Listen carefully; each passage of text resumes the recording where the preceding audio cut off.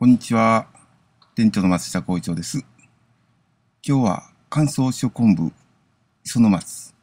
これを私のお弁当の中に入れてみました。左側は松昆布、右側が乾燥塩昆布、磯の松。お弁当の中に入れておくと、とっても柔らかくなって食べ頃です。とっても美味しいです。